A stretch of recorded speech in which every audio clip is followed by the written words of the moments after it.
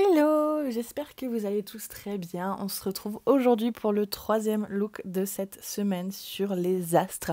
Et j'avais très envie d'incorporer à cette série une ou deux planètes. Donc là j'ai choisi de faire Saturne. C'est tout simplement une planète qui me parlait et j'avais aussi très envie d'incorporer un anneau. Je trouvais ça très sympa d'incorporer un élément un petit peu plus euh, en dimension à ce maquillage-là et de faire quelque chose de différent de ce que j'ai fait euh, pour le moment dans cette série-là. Donc voilà, j'ai choisi Saturne pour son anneau et pour les couleurs qui sortent un petit peu de l'ordinaire. Je me suis euh, fiée à plusieurs photos que j'ai trouvées sur Pinterest. Évidemment, c'est pas forcément des photos euh, ou des couleurs qui vont être très très réalistes, très très euh, fidèles à la réalité. Mais j'avais envie de faire quelque chose euh, d'assez différent pour moi tout simplement. Donc j'avais préparé l'anneau au préalable d'ailleurs, je l'ai fait avec des feutres et je l'ai découpé dans du papier canson. Ça va me permettre de le coller directement sur mon visage une fois le maquillage terminé. Donc j'espère que cette idée vous plaira. L'idée en fait si vous voulez c'est de faire des espèces de traînées de couleurs sur les contours de mon visage. Donc je vais prendre les mêmes couleurs que celles que j'ai utilisées pour l'anneau. Et voilà, avec des pinceaux assez euh, denses, assez euh, évasés, je sais pas vraiment comment vous expliquer, je vais essayer de faire des espèces de traînées, voilà, des espèces de grandes lignes qui vont reprendre aussi les motifs de l'anneau. Et euh, je trouve que c'était la meilleure manière de représenter la planète. J'avais envie de faire une illusion d'optique aussi, etc. Mais je me suis dit que finalement, ça, ça serait le moyen le plus artistique pour moi d'interpréter la planète Saturne. J'ai maintenant envie de vous parler de la mythologie et des légendes autour de Saturne, de cette planète qu'on connaît finalement pas si bien que ça, en tout cas pour ma part. Donc je vais vous raconter un petit peu son histoire.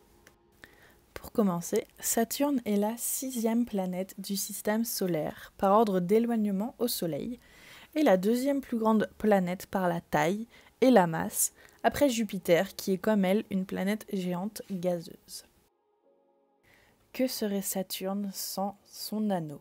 Ou plus particulièrement et plus précisément, ses anneaux.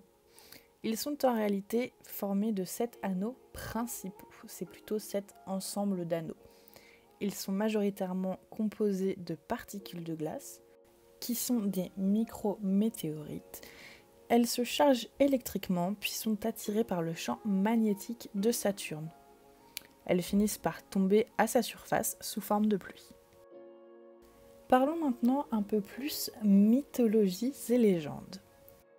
Saturne est présenté comme un roi civilisateur, inventeur des lois et de l'agriculture. Très tôt, les Romains ont identifié Saturne au grec Chronos dont les mythes ont été adaptés à la littérature latine et à l'art romain. En particulier, le rôle de Chronos, dans la généalogie des dieux grecs, a été transféré à Saturne. Saturne est une très ancienne divinité du ciel, fils d'Uranos et de Gaïa, et père de Jupiter. Il mangeait ses enfants, car on lui avait prédit que son fils le détrônerait, comme il l'avait fait lui-même à son père mais sa femme Réa, folle de douleur, remplaça son dernier né par une pierre entourée d'un ange, sauvant ainsi Jupiter. Saturne symbolise le temps dans sa notion de durée. Autre fait intéressant qui n'a rien à voir, le mot samedi trouve son origine dans le mot Saturne. Il signifie en fait à la base jour de Saturne.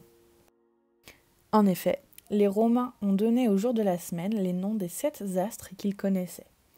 Le lundi est donc le jour de la Lune, mardi le jour de Mars, mercredi celui de Mercure, jeudi le jour de Jupiter, vendredi celui de Vénus. Puis Saturne disparaît au profit de Sabbat, d'où samedi. Tandis qu'au jour du Soleil, il se substitue au jour du Seigneur qui deviendra le dimanche.